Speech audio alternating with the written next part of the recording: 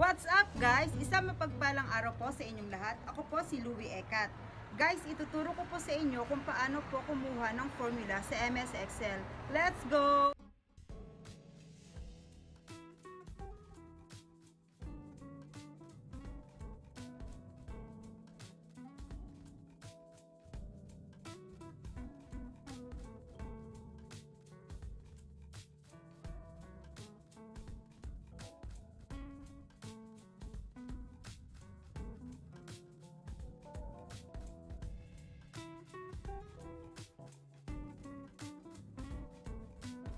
Hi guys, in this video, I'd like to show you how to put basic formula or functions sa paggamit ng spreadsheet inside the Microsoft Excel.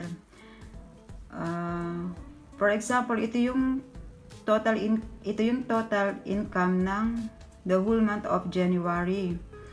So paano mo siya maku paano mo makukuha ang total? Always begin the formula equals sign equals B3 plus C3 plus D3 plus E3. Enter. Ayan po yung total ng for the whole month of January. So, paano mo naman makukuha ang total income ng February to May? Guys, hilahin nyo lang siya ng ganyan. Ayan na po yung total income ng the, for the whole month.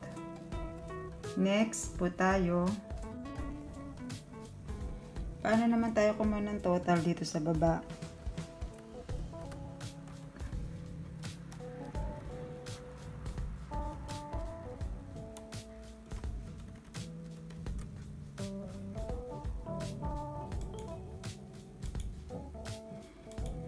So, equal sign.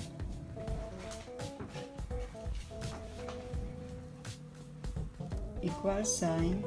Sum open and close parenthesis, B7,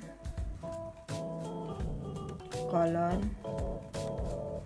B3,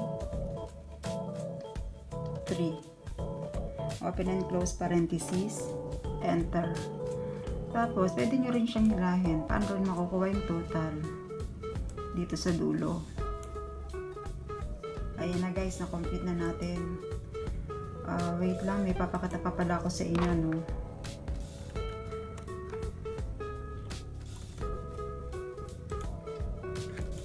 papakita pa pala ako sa inyo kung paano nyo makukuha yung madaling computation. Hindi na kayo ganyan ng ganyan. Grab mo lang to. Shift. Tapos dito. Pwede nyo i-click lang to auto sum ayun na guys okay na po sana po ay natutunan nyo tong additional function para sa MS Excel.